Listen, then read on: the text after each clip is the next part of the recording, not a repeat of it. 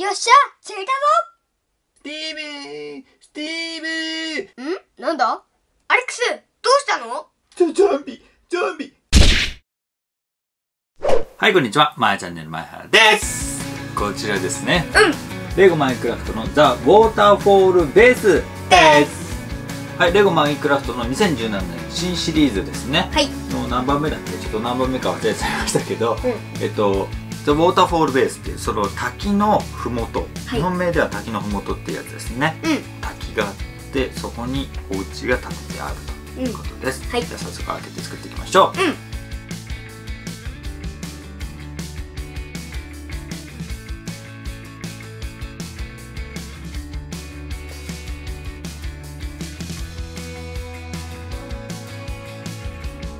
はい、ということで完成しました。こちらがザ・ウォーターフォールベースですね。はい。えーすごいおしゃれなお家だね、これね。うん。こちら側が滝になってて、でこの周りにさ、この白い、これなんだろう、羊毛？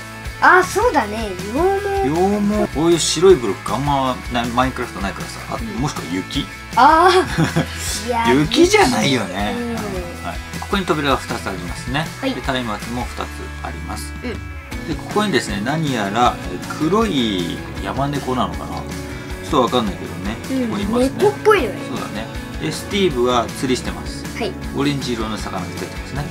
で、ここ木があって、リンゴがあります。はいリンゴリンゴで、ここにえ久しぶりだね、エンダーマンがおりますね。おおで、上にはゾンビ。ゾンビはなぜかそうスコップ。でここにアレックスがいますアレックスはハサミを持っててこの羊さんの、えー青い羊毛を取ってますね、うん。買ったところですね。はい。でこのブロックはこんな風に普通に置けます。はい。で今回のギミックとしては昨年までのレゴマインクラフトに良かったんですが、う開きます。こういう感じ、うん。ドーンと。で家の中が拝めるわけですね。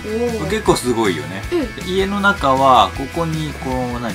ダイヤの弦そうダイヤの剣があって下にチェストがありますね、うん。ねチェストには何も入ってないと。何も入ってない。はでこちら側が魚のマークになってます。い、うん。でこのチェストも何も入ってないです。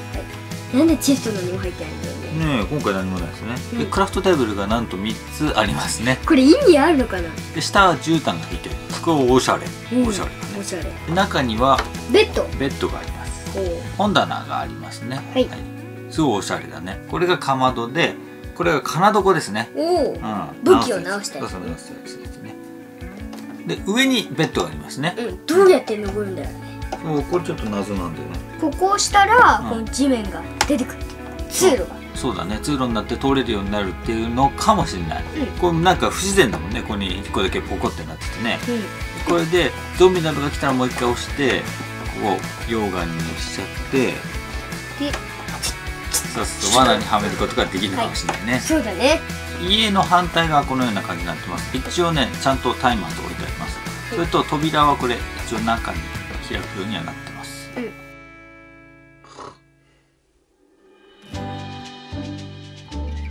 はいよく寝たはあよく寝たわおはようアレックスおはようスティーブ今日は何をする今日はね私はね羊毛を狩るの。じゃあ僕はついでもしようかな。はじゃあ私先に迎えに行ってそれだけ買ってくるわね。い。バイバイ。バイバ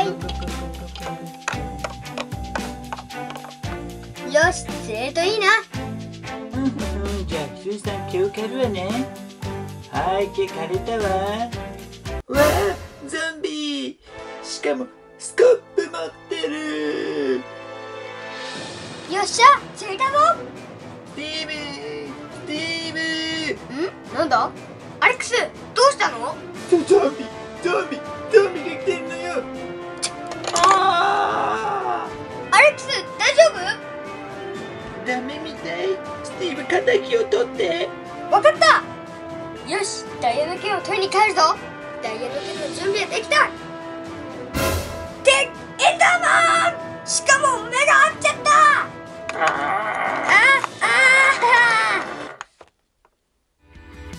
はいということで今回はレゴマインクラフトのザ・ウォーターフォールベースでした。はいということで今日の動画面白かったなとか気に入ったなと思った方はぜひいいねボタン高評価グッドライクお願いします、はい。そしてぜひお友達にも教えてあげてください、はい。そしてチャンネル登録もよろしくね。ということで今回は以上でございます。バイバイ。